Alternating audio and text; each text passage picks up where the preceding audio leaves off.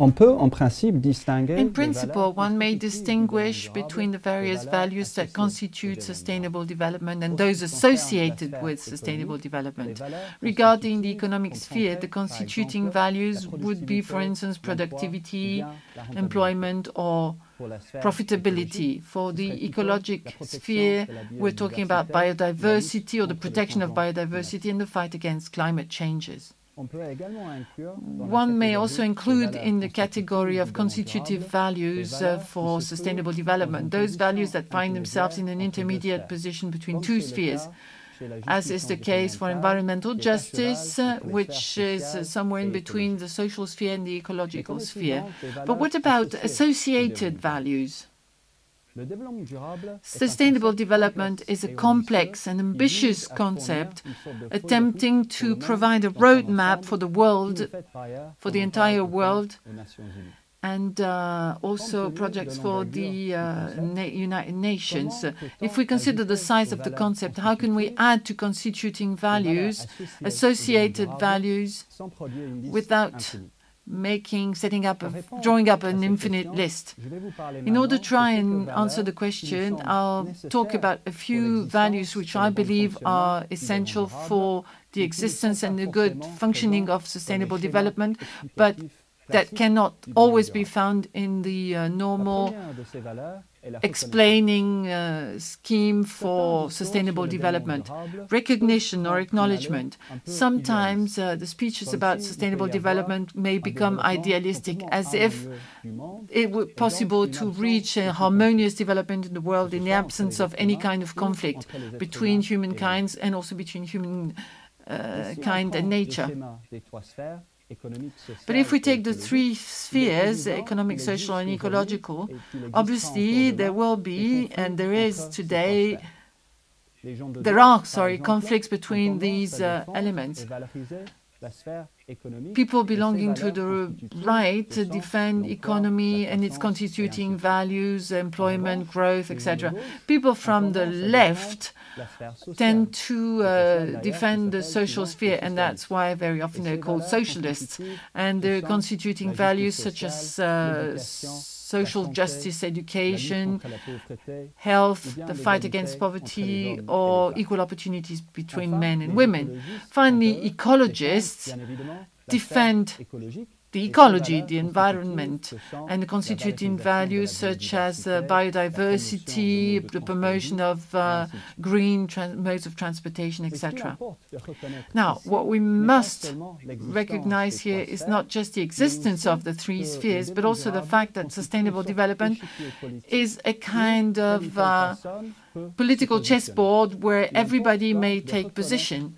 It is therefore absolutely essential that we acknowledge the existence and the right of expression of all these people.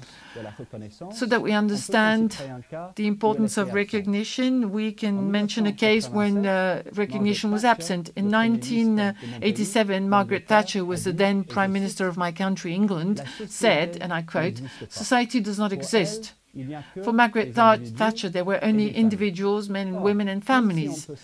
And yet, although a uh, right wing political uh, woman could uh, defend the family, uh, the men and the women who constitute the families, uh, denying the existence of society is a serious case of non recognition of all those uh, who defend society and need society because they can't look after themselves alone and they can't manage with the only help of their families. Denying the existence of society was therefore in total opposition with the principle of sustainable development. The second value I'd like to mention is reflexivity, the fact that we may question sustainable development. How do we articulate together development and durability? Sustainable or durable development, is it a universal concept that can be bought into by all countries and all cultures alike across the planet? Or is it more a Western notion, which is then possibly going to be imposed on non Western cultures in a violent, unfair, or inappropriate way? How can we take into consideration the needs of future generations, considering they do not exist yet and therefore cannot express themselves? And in order to uh, achieve sustainable development, do we need to reinforce the ecological sphere and the uh, Grenelle de l'Environnement meetings considered that it was the weakest of all the spheres. And if we need to reinforce the ecological environmental uh, sphere, do we do it with a, uh, an environmental transition or do we need to increase its representation with green uh, political parties, the action of which is relatively weak in Europe? And what do we think about people who oppose sustainable development, including the French economist Serge Latouche and his uh, Uh, helpers who are in favor of degrowth? declining growth. Asking those questions is absolutely essential if we want to guarantee vitality, vigor, and adaptability of sustainable development. Without reflexivity, sustainable development is at risk of becoming simply a dogma, repeating a few simple principles which are taken for granted. And this may also lead to a technocratic logic, which might, yes, be simple and efficient, but probably would lose all context with the source of wisdom. Let us not forget that asking questions on sustainable development can take us elsewhere. And maybe one day we'll be able to move to new concepts and develop new ideas for the future. The third important value that I would like to discuss with you is participation. If you want my opinion, I don't believe I'm the only one to think that way. Citizen participation is absolutely essential for de sustainable development.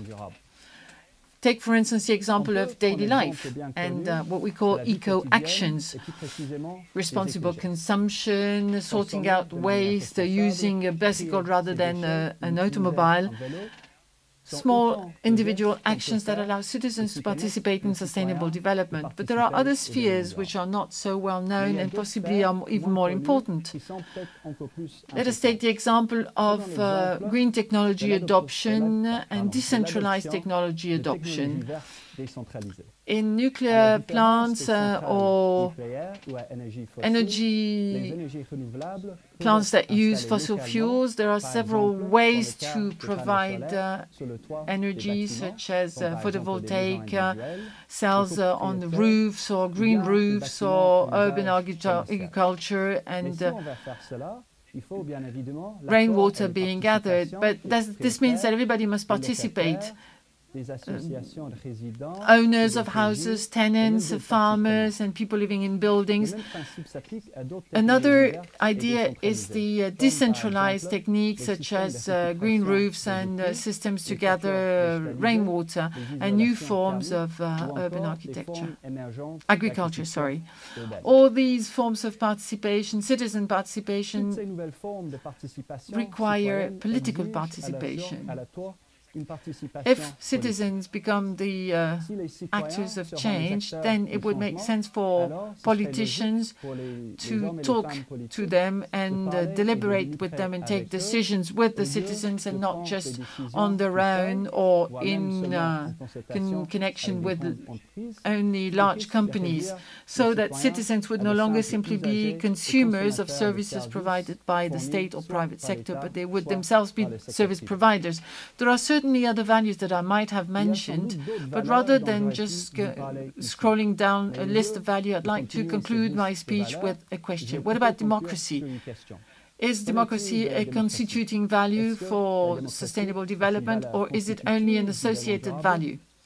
And in that case, uh, who conducts the association? Just us inhabiting Western democratic countries who uh, associate democracy with sustainable development? Thank you for your attention. Je vous remercie de votre attention.